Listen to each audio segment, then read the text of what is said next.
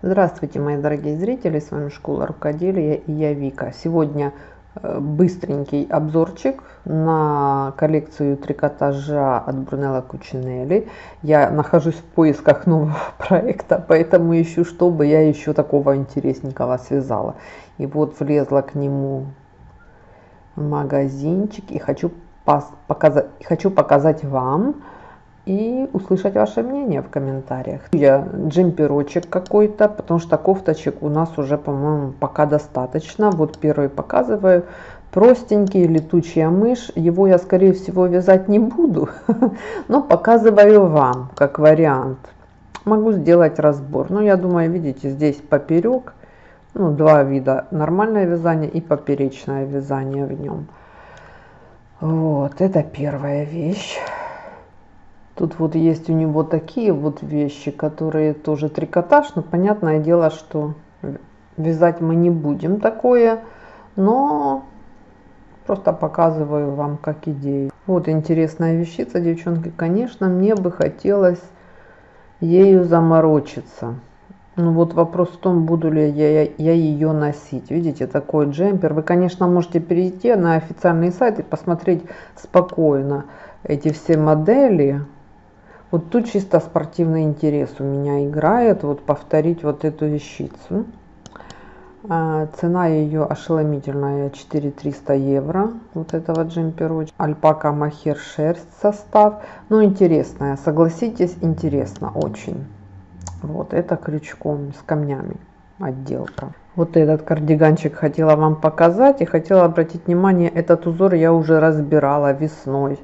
Вот, этот узор у меня есть на канале, я оставлю в описании под видео обязательно ссылку, а связать его можно легко по вот этому последнему моему мастер-классу кофточки от Зары. Вот, и я думаю будет совсем то. Я показываю, потому что есть у меня узор этот, и кофта по сути есть, описание тоже есть. Хотела показать вот этот обязательно вам свитер из махера. На лицевой глади вот такая вышивка. Девчонки, кто в курсе, напишите мне, по какой технологии выполнена эта вышивка. Думаете, классическая или как-то особое, а, особое какое-то умение надо на это? Вот я что-то вот поближе, не знаю, наверное, обычная вышивка, но это ж можно с ума сойти, так вышивать. В общем, напишите мне, что вы думаете, в какой технике это все выполнено. Вот смотрите, девчонки, кардиган из махера. Всем нам известные вытянутые петли, смотрите. Вязать точно не будем, но просто опять же показываю. Здесь похоже, что вытянутые петли, видите, из махера выполнены. А внутри из шерсти связано, а сами вот эти ряды из махера. Подождите, а написано здесь кардиган в полоску из махера и шерсти. Вот, тоже, что я говорил. Отстроченный мехом. Как это понять, отстроченный мехом? Не знаете? Может, знаете, напишите, как это отстроченный.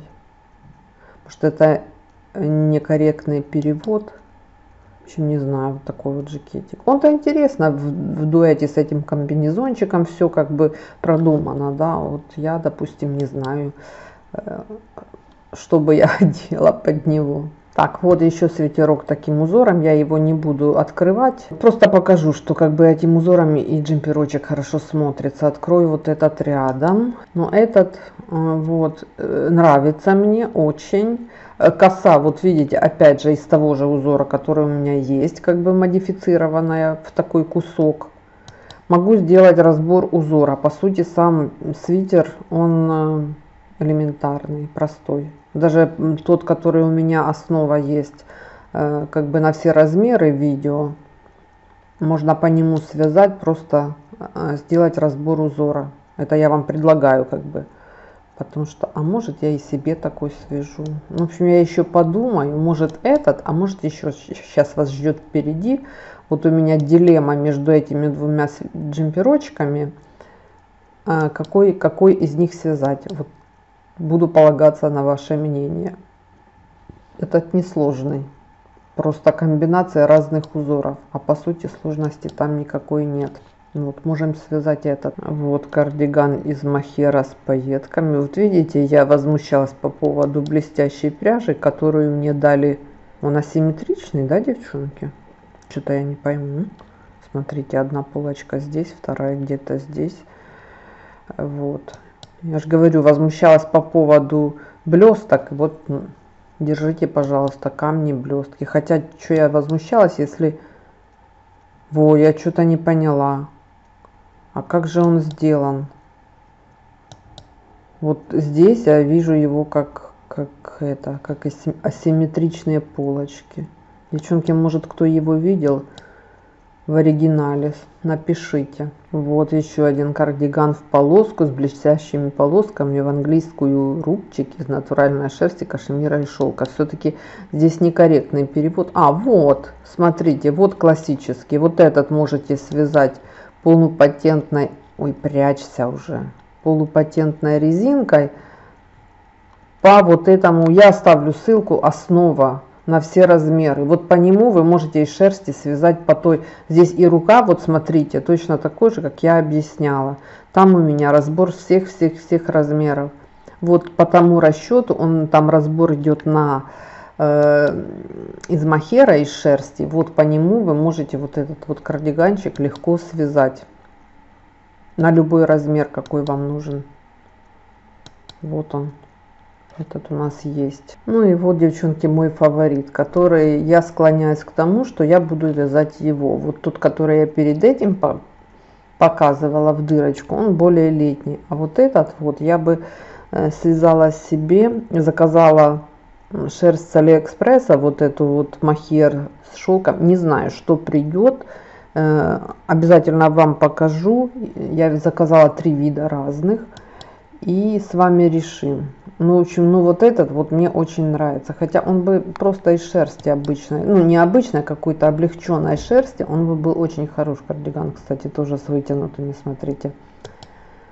Вот такой вот джемперочек. Он Э, как видно, э, здесь видно, что он связан из, а, по отдельности, не в круговую, но сходятся все как бы имитация круглой кокетки. Видите, вот реглан как идет. То есть здесь убавлений нет, я так понимаю, хотя если вот присмотреться, то есть здесь какие-то убавления. Может это именно на пройму здесь немножко, а дальше все сходится как бы за счет узора. А, сокращения идут, видите, коса уменьшается. И еще хотела вас спросить по поводу, это классическая коса, классический жгут. Один вот, смотрите, допустим, 6 влево, 6 вправо. Или есть какие-то особенности, как думаете, вязание именно вот этой вот косы? Напишите мне, пожалуйста, тоже ваше мнение с удовольствием и с большим интересом почитаю, что вы думаете по поводу вот этой вот косы, как ее правильно сообразить. Я ее все-таки вот остановлюсь, скорее всего, на 90% на вот этом вот джемпере. Мне интересно его сделать, да, и носила бы я его с удовольствием. Такой вот вот, девчонки, все на сегодня. А вы мне напишите, пожалуйста, свои мнения. Я с удовольствием их все изучу, учту и будем вязать следующую вещь.